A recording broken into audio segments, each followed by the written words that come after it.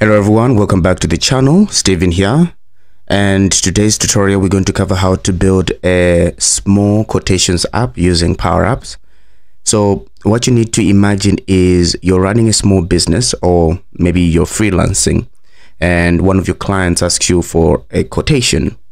And what you do is you open up your Excel, copy paste from an old file, tweak the numbers here and there, and then hope you don't miss anything. I really think this sounds familiar to a lot of people. So in this tutorial, I'll show you how to build a professional quotation system using Power Apps model-driven apps so that you can generate, track, and email quotes in minutes, not hours.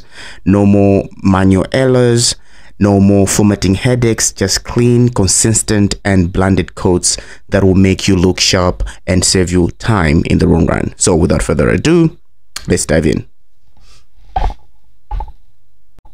For our database, we're going to create four tables. We're going to have the customers table where one customer can have multiple quotes and one quote can actually have multiple line items. Those line items will also be referencing data from the products or the service table where we're going to be getting the unit price that we're going to be multiplied by the quantity to give us the line total per each and every quotation line item. So let's actually dive into Dataverse and have these tables set up.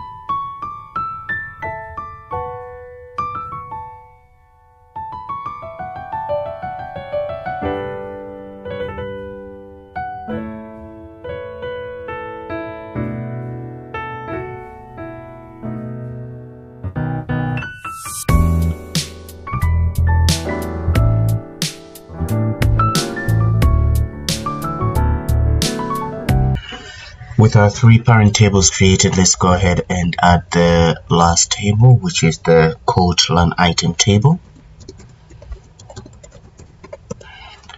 And the primary column, we can just give it a name of uh, description or notes. And let's ensure that uh, under advanced properties, advanced options, we have checked on the leveraging of the quick create.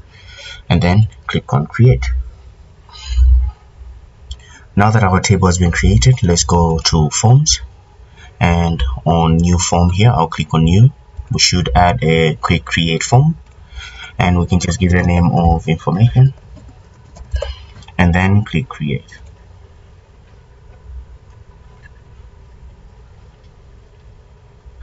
We have got three sections by default. I'll select the first one. Give it a name of uh, line item details and uh, on the left hand side here we can see all of the columns that we've created. The first column that I want to add is the lookup column that is looking up to the quote table.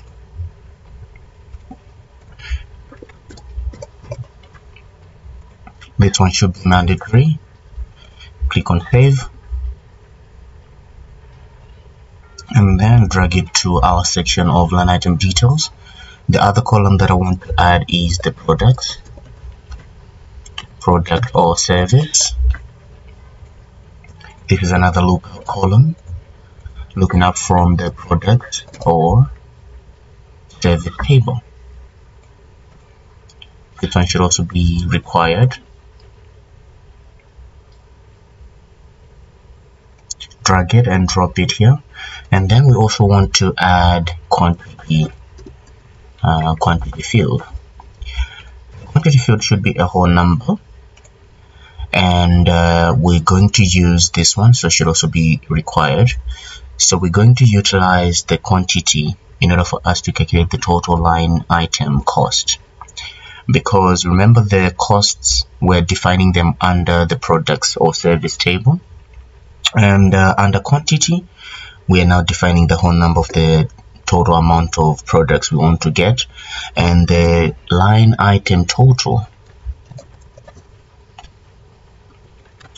this one should be a formula field because we want to go into the table of product or service so I'll select product or service from our list here click on dot and then select the unit price after we've selected the unit price from the product that has been selected what are we going to do next? So we're going to multiply it by the quantity. Like so. In so doing you've uh, you've added a calculated column that will handle all the arithmetic to come up with the total line item cost. We don't need these two other uh, sections here so I'll select them hide and select the other one and hide save and publish. Now our quotation line items table has been created. Now let's go ahead and add all these tables and components into a model driven app and then we can have one test to see how everything is working together. To create a model driven app whilst in our solution I'll go to new app model driven app give it a name called app.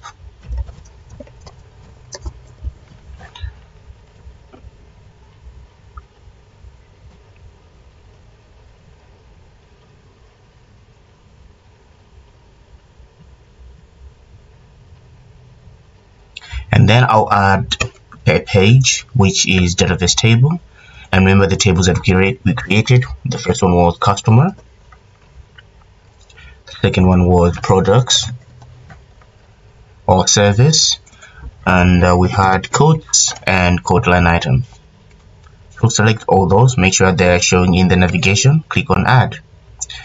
This with the group we can just click on it and then expand on the right hand side here give it a name of uh, codes. Code manager. Save and publish. When it's done publishing, you can click on the play button so that we have a feel of how the application is functioning. Let's add a sample customer. Okay, and let's add sample products.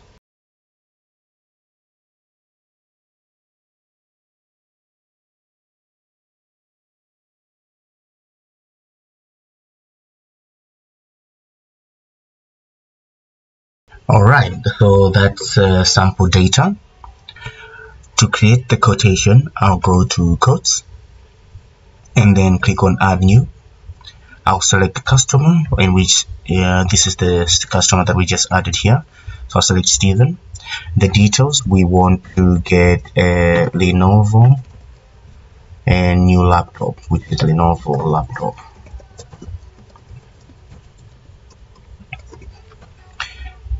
So this quote was valid until the 30th at 8 o'clock. I'll click on save. Now I also want to add a quotation line item. So for that one underneath here I'll click on quote new line item. It has already associated its quote number. I'll select the product that we want uh, we want to quote for Lenovo ThinkPad. The quantity when uh, the customer is asking for 10 notes can be added here. I want to save this and then add another call another item. They also requested for laptop bags that we sell 10 of them as well. The notes can also be there.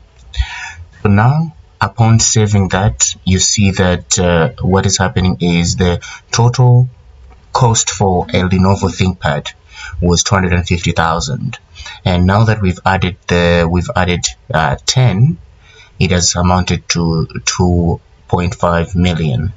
Um, the same applies to the laptop bag. The unit cost was 66,000 and here it has already done the arithmetics here. But now you might ask yourselves to say how do we know the total money that is being requested as per this code right here like the grand total? For us to do that I'll quickly go back to the app select the cost table make sure that I'm editing the actual form. So I'll click on the pencil icon next to the form. It will give me the form with all the details the way you're able to see it in the app. But what we want to do is to add a column that can help us calculate the total grand total of the code that we want to send out to the client.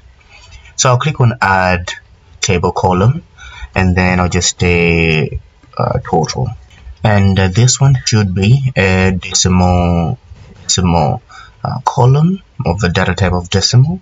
And the behavior shouldn't be simple. It should be a rollup. So I'll click on save and edit. Upon clicking the edit rollup column this window will pop up. So from here what you need to do is to add the related entity. So our related entity is the quotes line items table. I'll select that and then what is the aggregate function that we want to add? So what we want is to sum up all the totals per each and every quotation line item. So you click on the check save and close. It will process and take us back to the previous window. Now that we have configured our rollup column let's go ahead and add our grand total to our main form here. And then when that is done I'll click on save and publish at the top. And when it has completed saving and publishing let's go back to the app open up our quotation and you see that we have got the grand total field here. So in a scenario where you've added more line items let's just as you can see here the summation is to 2,560,000 if we're to add another quote line item for the product of let's just say to TB NVMe they wanted one of this and uh, yeah you can just add sample notes. If I add that as you can see here and uh, click on the calculator icon and then click on recalculate what will happen now is just confirm if everything is in order here. So yeah everything is in order. We have got one quantity 35,600 which is pulling from uh, which is pulling from the products themselves. And from here if I, I click recalculate you can see here the sum will now add append itself to 2,595,600 which is the summation of all these line items. So basically that's how um, the rollup column works so it's just pulling the data from the child entity here and then summing up all the line items total to give us the grand total over here. So this is uh, the end of today's tutorial. I just wanted, um, I hope it will add some value. It has added some added some value to you as a, as a person or as, as a business entity to say, how can we consolidate uh, a place where we're generating all our quotations, um, making sure that all the products that we have on the line items they're still you know referencing the same cost the same unit prices.